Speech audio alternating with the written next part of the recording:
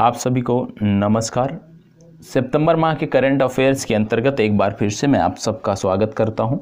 और सितंबर माह के करंट अफेयर्स को हम देख रहे हैं और आप जानते हैं कि दीपावली की छुट्टियाँ इन दिनों चल रही हैं तो थोड़ी सी आपकी कक्षा प्रभावित हुई है। लेकिन उस दौरान हमने सितंबर माह के करंट अफेयर्स को आप तक पहुंचाकर जो कमी थी उसको दूर करने का प्रयास किया है। तो एक मिनट का वेट कर लेते हैं, सारे लोग उपस्थित हो जाएँ, जिससे हम अपनी चर्चा को आगे बढ़ाते हैं। ठीक है? तो जल्द से जल्द सभी उपस्थित हो जाएँ, जिससे चर्चा को आगे बढ़ाया जा सके।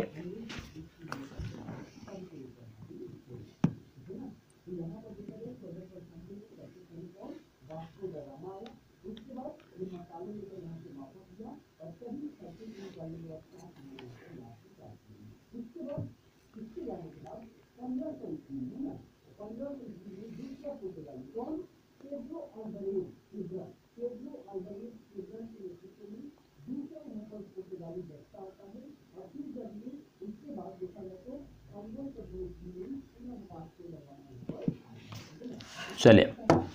तो सभी लोग उपस्थित हो गए हैं। अब चर्चा को आगे बढ़ाते हैं। आज का पहला प्रश्न है, क्रिसिल एक अंतर्राष्ट्रीय एजेंसी है। इसमें प्रश्न में ही बता दिया कि क्रिसिल जो है एक अंतर्राष्ट्रीय एजेंसी है।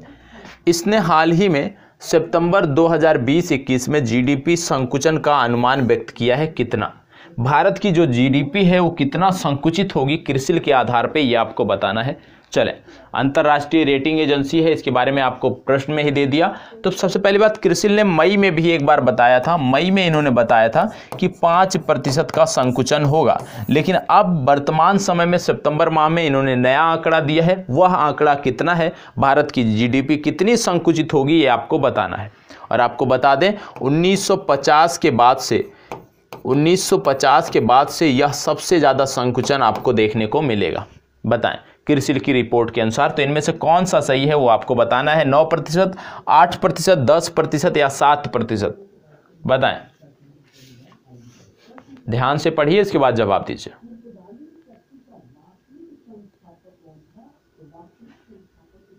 चलें, इसका सही उत्तर है नौ प्रतिशत। क्रिसिल ने हाल ही में बताया कि भारत की जो जीडीपी है, वो 2020-21 में नौ प्रतिशत तक संकुचित होगी। अब इस तरह के प्रश्न क्या महत्वपूर्ण होते हैं? जैसे मई में दूसरा आंकड़ा था, अब सितंबर में आंकड़ा बदल गया। तो जब भी आप परीक्षा देने जा रहे हो तो लेटेस्ट क्या आंकड़ा आया है इस तरह के संस्थाओं का, वैश्विक संस्थाओं का, वो आपको देखकर जाना होगा, तभी आप इस तरह के प्रश्नों को कर सकते हैं। यदि यही प्रश्न मई में पूछा गया होता तो उत्तर दूसरा होता। अब यही प्रश्न यदि सितंबर में पूछा जा रहा है तो इसका उत्तर दूसरा होगा। तो अपडेटेड अपने आप को रखना है। चलिए अगला है, सितंबर 2020 में केंद्र सरकार ने रक्षा क्षेत्र में स्वतः मंजूरी के माध्यम से कितने प्रतिशत तक प्रत्यक्ष विदेशी निवेश को मंजूरी प्रदान की है, आपको बताना है। एफडीआई जिसको आप बोलते हैं, प्रत्यक्ष विदेशी निवेश कितने प्रतिशत तक की मंजूरी दी गई है, ये आपको बताना है। चलें, बताएँ, कितने प्रतिशत तक की मंजूरी दे दी है भारत सरकार ने, ये आपको बताना है। किस क्षेत्र में रक्षा क्षेत्र की बात हो रही है, यह भी आपको ध्यान में रखते हुए चलना है। चलें। विकल्प आपके सामने उनचास प्रतिशत, चौहत्तर प्रतिशत, पैंसठ प्रतिशत या शत प्रतिशत। कौन सा सही होगा, ये आपको चुनाव करना है और ये बहुत ही महत्वपूर्ण प्रश्न है।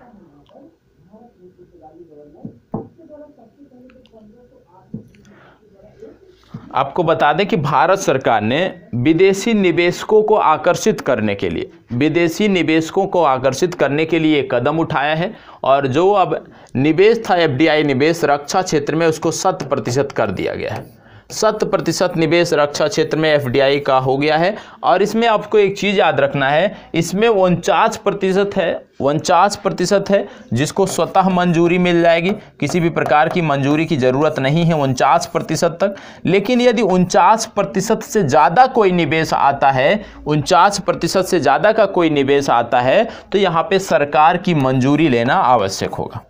ठीक है? ये भी आपको याद रखना है कि उनचास प्रतिशत से ज़्यादा कोई भी निवेश होता है तो वहाँ पे सरकार की मंजूरी लेना ज़रूरी है। उनचास प्रतिशत तक के निवेश में सरकार की मंजूरी नहीं लेनी है। ठीक है? चलें, आगे बढ़ते हैं।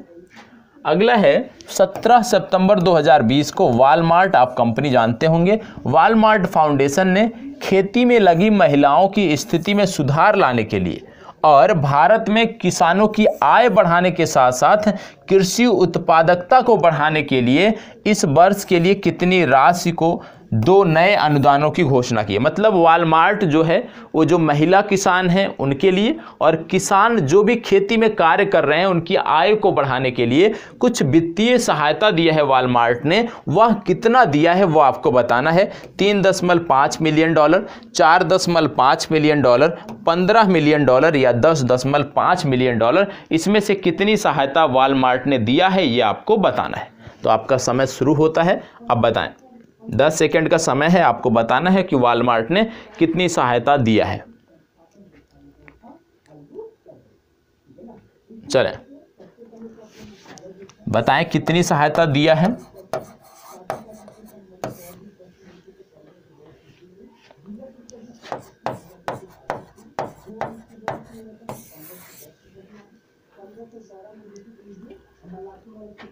चलें।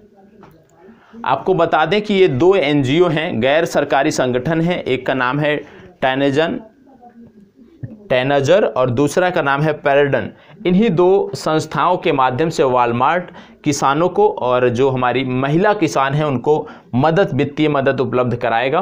तो आपको बताना है, आपको अपने उत्तर का चुनाव करना है। चलें, अब मैं बता देता हूँ, इसका सही उत्तर है, चार दशमलव पाँच मिलियन डॉलर की सहायता वालमार्ट ने दी है। ये आपको पता होना चाहिए। ठीक है? चलें, आगे बढ़ते हैं। अगला प्रश्न है, सितंबर 2020 को आर्थिक मामलों पर मंत्रिमंडलीय समिति ने power grid corporation of India की सहायक कंपनियों की परिसंपत्तियों के मौद्रीकरण को मंजूरी प्रदान की है।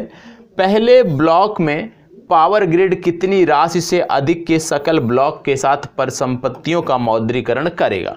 अब आपको बताना है कि जो पावर ग्रिड है, वो पहले ब्लॉक के अंतर्गत कितनी परिसंपत्तियों का मौद्रीकरण करेगा, कितने करोड़ तक के, ये आपको बताना है। तो बताएँ। पाँच हज़ार छः हज़ार, सात हज़ार, पचहत्तर सौ। इनमें से कौन सा सही है, ये आपको बताना है। चलें। इनमें से कौन सा सही है ये आपको बताना है। इसका सही उत्तर है सात हज़ार करोड़ रुपए। सी विकल्प आपका सही उत्तर है, ठीक है? तो इसको भी नोट डाउन आप कर सकते हैं। अगला प्रश्न सितंबर 2020 में निजी क्षेत्र की प्रमुख जीवन बीमा company Bajaj Allianz life insurance company limited ने किसे अपना नया ब्रांड एम्बेसडर बनाया है? आपसे पूछा जा रहा है कि बजाज एलियांस लाइफ इंश्योरेंस जो कंपनी है, उसने किसे अपना नया ब्रांड एम्बेसडर बनाया है? और आप जानते हैं, ब्रांड एम्बेसडर से जुड़े हुए प्रश्न परीक्षाओं में पूछे जाते रहे हैं, इसलिए आपको जवाब देना ज़रूरी है। अक्षय कुमार, रणबीर कपूर, सलमान खान या आयुष्मान खुराना। और आपको बता दें, बजाज एलियंस की यदि बात हो रही है तो तपन सिंघल इसके प्रमुख हैं सीईओ हैं, ये आपको पता होना चाहिए। तपन सिंघल, ये बजाज एलियंस के सीईओ हैं, ये भी जानकारी आपको होनी चाहिए। चले बताएँ। किसको बनाया है ब्रांड एम्बेसडर, ये आपको बताना है। चलें, आपके जवाब आने चाहिए। इसका सही उत्तर है आयुष्मान खुराना। आयुष्मान खुराना को इन्होंने अपना ब्रांड एम्बेसडर बनाया है। अगला प्रश्न, किस कंपनी ने दुनिया की सबसे बड़ी सौर ऊर्जा उत्पादक, उत्पादन संपत्ति धारक का स्थान प्राप्त कर लिया है? इसमें से कौन सी कंपनी है जिसने सौर ऊर्जा उत्पादन संपत्ति धारक का जो स्थान था, उसको पीछे छोड़ दिया। मतलब अब तक की सौर ऊर्जा के क्षेत्र में जो टॉप कंपनी थी, उसको पीछे छोड़ने वाली कंपनी इनमें से कौन सी है? Kotak Urja private limited, Tata power solar system, Moser Baer photovoltaic limited या उपयुक्त में से कोई नहीं। कौन सी कंपनी अब वर्तमान समय में सौर ऊर्जा के क्षेत्र में सबसे अग्रणी कंपनी बन गई है, ये आपको बताना है। और उसने पीछे किसको छोड़ा है? अडानी समूह को पीछे छोड़ा है। अडानी समूह को पीछे छोड़ते हुए ये सबसे सर्वश्रेष्ठ कंपनी बनी है इस क्षेत्र में। ये आपको बताना है कि कौन सी कंपनी है। बताएँ। ए बी सी डी में से कौन सा है आपको बताना है। इन चारों में से कौन सा है आपको अपना जवाब देना है। चलें, ध्यान से पढ़िएगा, इसके बाद जवाब दीजिए। और सितंबर माह में आप कहीं ना कहीं से करंट अफेयर्स तो पढ़ते रहे होंगे तो निश्चित रूप से प्रश्नों के जवाब आने चाहिए।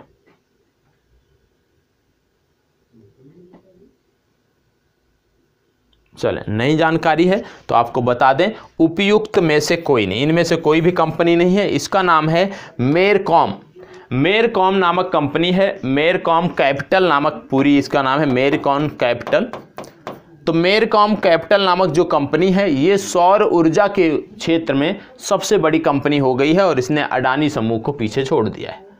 अगला प्रश्न 29 अगस्त 2020 को किस देश ने भारत के लाखों ग्रामीण किसानों और अपने यहाँ की फ़ूड इंडस्ट्री के बीच अंतर को कम करने के उद्देश्य से एग्रीओटा नामक एक नई तकनीक आधारित जिन्स कारोबार ई मार्क फ्रेट प्लेटफॉर्म की शुरुआत की है? एग्रीओटा नामक एक नई तकनीक आधारित जिन्स कारोबार और ई मार्केट प्लेस प्लेटफॉर्म का शुरुआत किसके द्वारा किया गया है, ये आपको बताना है। चले, कौन सी कंपनी है, ये आपको बताना कंपनी का नाम तो इसने दे ही दिया। किस देश ने किया है, यूएई, ईरान, श्रीलंका या सऊदी अरबिया, ये आपको बताना है। और यदि आपको याद होगा कि भारत से पहली बार बनारस से सब्जियों का निर्यात किया गया था एक शहर को खाड़ी देशों के। तो यदि आपको वो याद है तो आप उससे जोड़कर इसका जवाब निकाल सकते हैं। चलें, बताएँ। इनमें से कौन सा सही होगा बताएँ। और आपके बता दें कि इसके माध्यम से जो भारतीय किसान हैं, उनको सीधे उस देश की कंपनी से जुड़ने का अवसर प्राप्त होगा, जो बिचौलियों की भूमिका थी। बिचौलियों की भूमिका को समाप्त बिचौलियों की भूमिका समाप्त होगी और निश्चित रूप से जो किसान हैं, उनकी आय को बेहतर करने में भी इससे मदद मिलेगी और आपूर्ति श्रृंखला में भी सुधार हो सकेगा। तो बताएँ कौन सा देश ऐसा है जिसने एग्री ओटा नामक एक नई तकनीक आधारित जिन्स कारोबार विकसित किया है? तो आपको बता दें, इसका उत्तर है संयुक्त अरब अमीरात। ए, यू ए इसका सही उत्तर है। ठीक है? और यू की मुद्रा है यू ए दिरहम।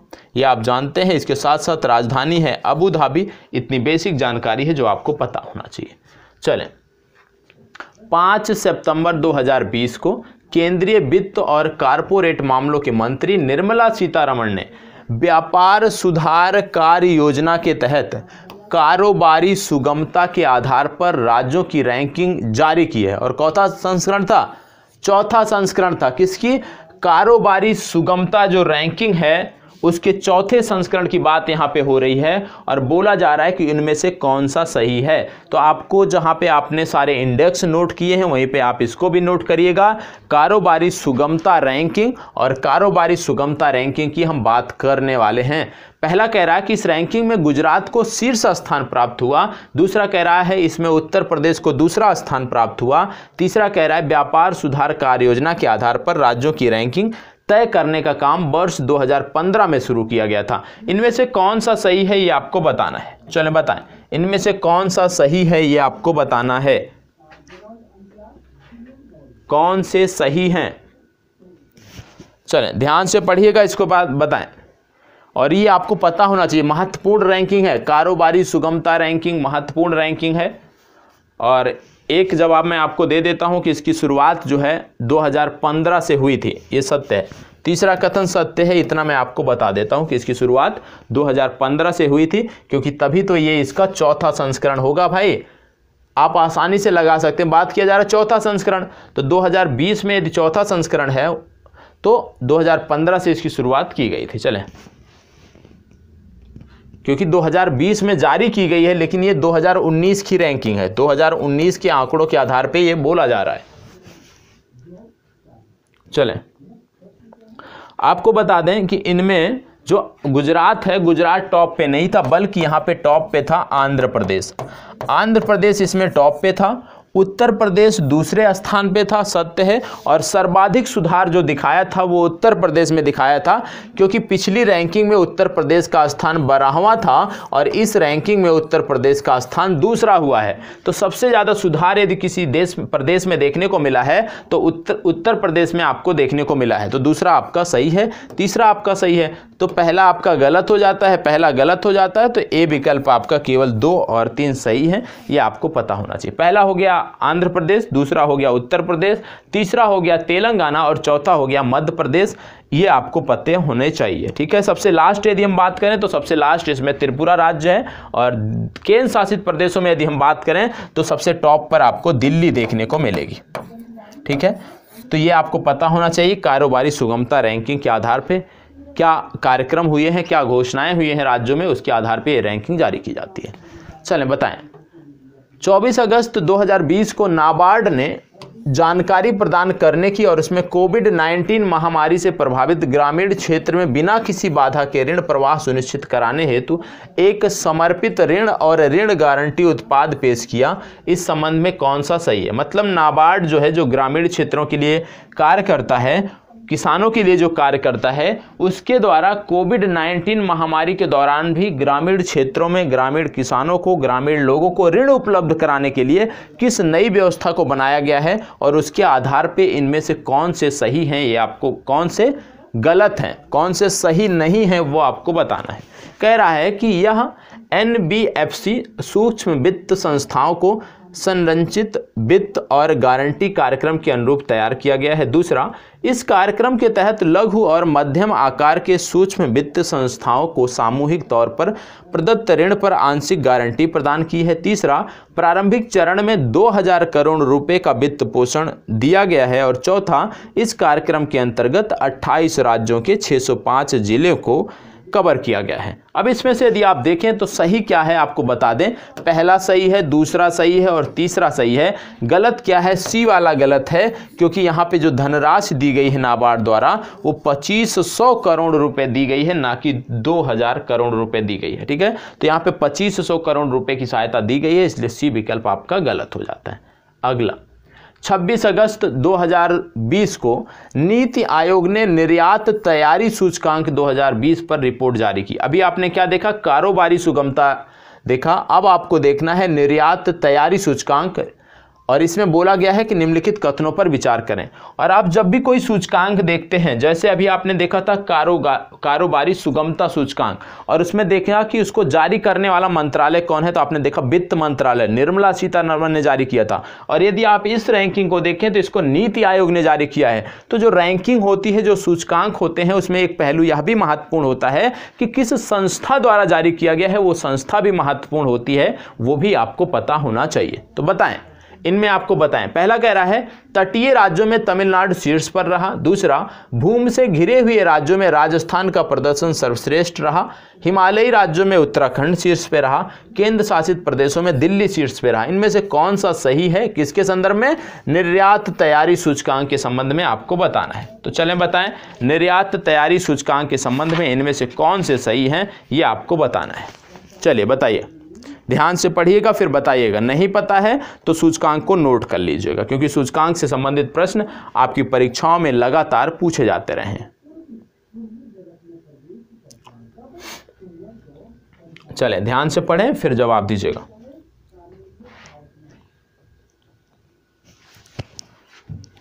प्रत्येक प्रश्न को ध्यान से पढ़ना है, इसके बाद जवाब देना है। एक्सपोर्ट प्रिपेयर्डनेस इंडेक्स इंग्लिश में इसको बोलते हैं एक्सपोर्ट प्रिपेयर्डनेस इंडेक्स चलें, बताएँ। जवाब दीजिएगा।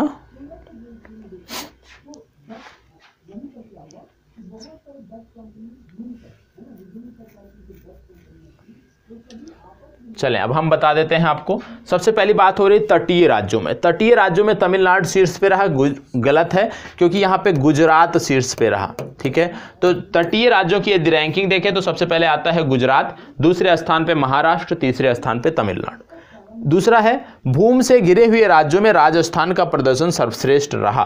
तो आपसे बता दें, भूम से जो घिरे हुए राज्य थे, वहाँ पे राजस्थान जो था, वो टॉप पे था, प्रथम स्थान पे था। तो दूसरा कथन आपका सत्य है। और यदि हम बात करें अन्य राज्यों की रैंकिंग जो भूम से घिरे हुए हैं तो राजस्थान के बाद तेलंगाना आता है और तेलंगाना के बाद हरियाणा आता है। तो तीन क्रम आपको याद होना चाहिए, राजस्थान, तेलंगाना और हरियाणा। तीसरी बात आती है आपकी, हिमालयी राज्यों में उत्तराखंड शीर्ष पे रहा। जी हाँ हिमालयी राज्यों में उत्तराखंड शीर्ष पे रहा, उत्तराखंड के बाद त्रिपुरा और त्रिपुरा के बाद हिमाचल प्रदेश का क्रम आता है तो तीसरा भी आपका सत्य है। चौथा कह रहा है कि केंद्र शासित प्रदेशों में दिल्ली शीर्ष पे रहा।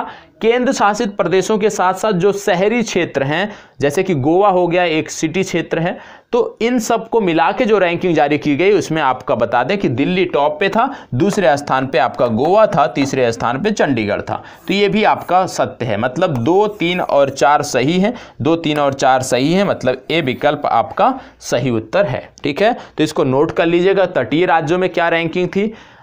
स्थल रद्द स्थल रुद्ध जो राज्य है, उसमें क्या रैंकिंग थी? केंद्र शासित प्रदेशों में क्या रैंकिंग थी? अलग अलग पूछा जा सकता है। तो नोट डाउन आपके पास होना चाहिए। चलें। विक्रेता प्रदर्शन मूल्यांकन प्रणाली बेंडर परफॉर्मेंस इवेल्युएशन सिस्टम हाल ही में निम्नलिखित में से किसके द्वारा प्रारंभ किया गया? National highways authority of India, steel authority of India, Reliance retail limited या भारतीय रिटेल लिमिटेड। किसके द्वारा यह शुरू किया गया है? विक्रेता प्रदर्शन मूल्यांकन प्रणाली, ये आपको बताना है। बताएँ। चार विकल्प आपके सामने हैं। इन चारों में से कौन सा सही है, उस पर आपको विचार करना है। चलें, विचार करें। इन चारों में से कौन सा सही है, उस पर आपको विचार करना है।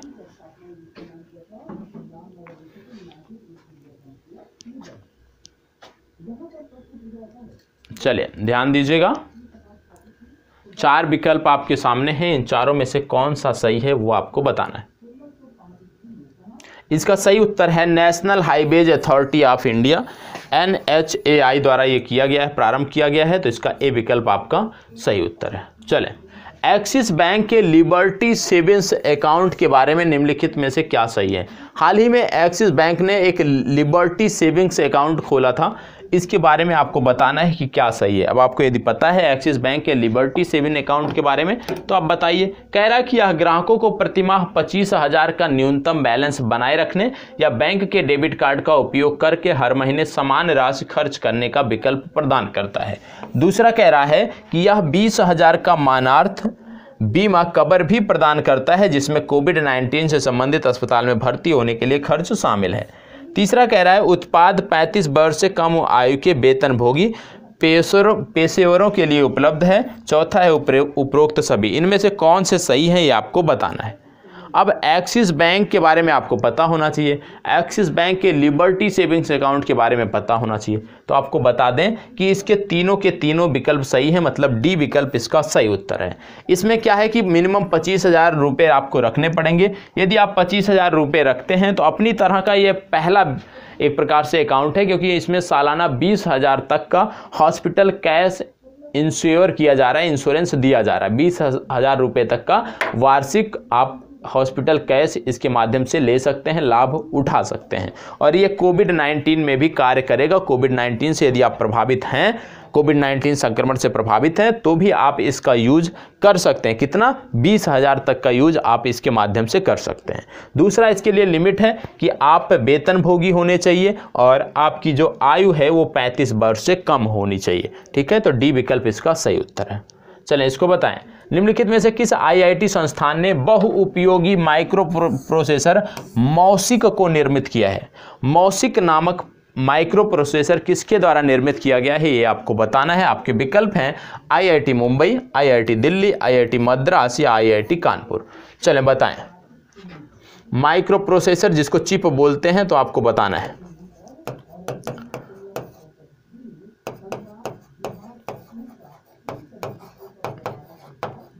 चलें, बताएँ।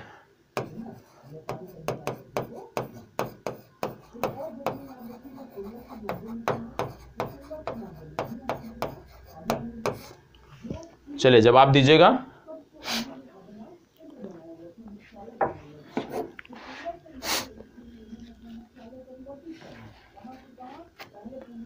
आपको बता दें, इसको डेवलप किया है आईआईटी मद्रास ने, और आपको बता दें छः चिप छः माइक्रो प्रोसेसर बनाने हैं।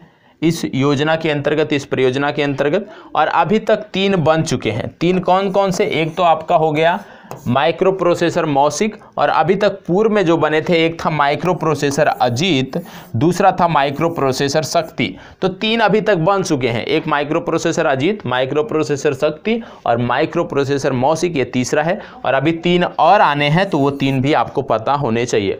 और अजीत किसने बनाया है या शक्ति किसने बनाया है, मैंने बार बार बताया है। और ये मार्च से मैं बताता आ रहा हूँ। मार्च दो हज़ार उन्नीस से मैं ये बताता आ रहा हूँ। तो इसके बारे में आपको जानकारी होनी चाहिए। ठीक है? चलें, आगे बढ़ते हैं। हाइड्रोजन ईंधन सेल के संबंध में निम्नलिखित में से कौन सा कथन गलत है? ये ग्रीन हाउस गैसों का कम उत्पादन करते हैं। ये सह उत्पादक के रूप में उष्मा और उष्मा और पानी का उत्सर्जन करते हैं। पारंपरिक दहन इंजन की तुलना में वे अधिक ऊर्जा कुशल हैं या ये पारंपरिक जीवाश्म ईंधन की तुलना में सस्ते पड़ते हैं। इनमें से कौन सा सत्य है आपको बताना है। चलें। बताएँ, हाइड्रोजन ईंधन सेल के संबंध में इनमें से कौन से सही हैं, ये आपको बताना है।